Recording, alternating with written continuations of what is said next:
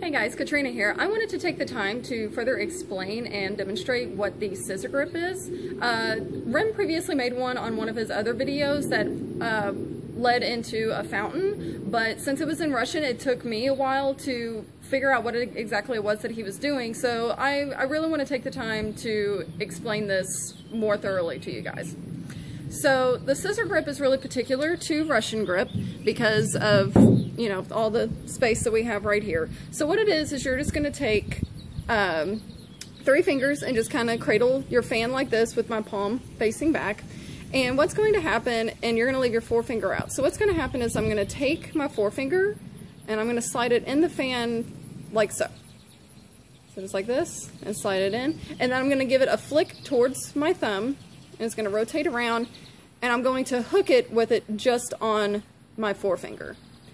And to get it back over, we're going to lay our hand out flat like this and we're going to flick it back over this way and it's going to land back in these three fingers. So to slow it down, so put my finger here, I'm going to grab a hold of my fan. It's going to come up, open, and you're going to kind of go ahead and cradle it right here and then just let it drop. And then to go back over, like I said, you just put your fingers down here. It's going to come around.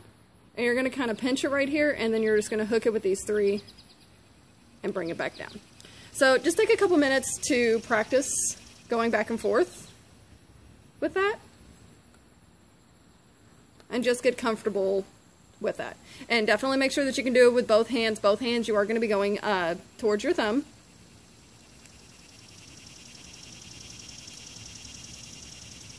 Okay. Um, to show exactly why this is uh, relevant, so when I have my hand down like this, my palm is down and facing back. And then whenever that I flip it, my palm is now facing out. In order for that to happen without using the scissor grip, I would actually have to like fold my fan over and break the plane, which is fine. That's no problem. But I definitely wanted to figure out, you know, how to do this um, without having to do that.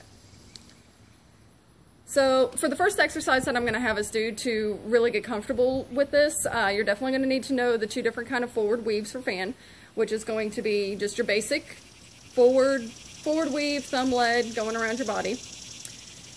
And then you also have the one where your hand is facing up and it's going to be pinky lead and it's going to be going around like so. And Rem also has uh, two tutorials that break down both of these very well, so I highly suggest if you're uncomfortable with these or don't know exactly what's going on to go check those out and practice those first.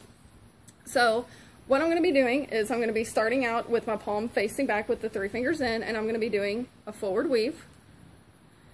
But then when I get here in front of me, I'm going to give it that flick, and as it flips around, it's going to follow around, and now we are in the palm up forward weave. Now when I'm weaving this, it's just on my, my finger here. So that's gonna take a little bit of practice to get comfortable with that.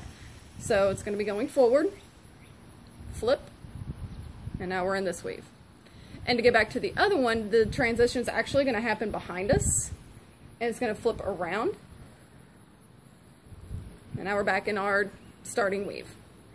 So here in front, now we're weaving behind. And as it comes down and behind us back here, we're gonna give it that flick and it's gonna come around back onto our fingers. And once you get comfortable with that, you can stand here and very easily just flip between the two. So you're not going to stand here and flip between the two constantly, but this is really important when you start getting into uh, more advanced weaves and different kind of moves, such as the fountain and everything, which uh, I plan on making a couple more of these uh, to give us more exercises on how this is very helpful. All right, so one more time. It's down and in front of us. We're going to weave forward as it comes in front of us flip around, and immediately start this here. When it's down in the back, give it a flip forward, and we're back in the start. And definitely make sure that you can do it uh, comfortably with, with both hands.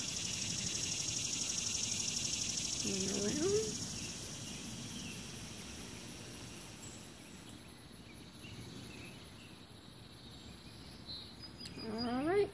Um, so hopefully that helps, guys. Uh, if you have any further questions or need me to demonstrate uh, anything better, just please comment below and let me know. Thanks.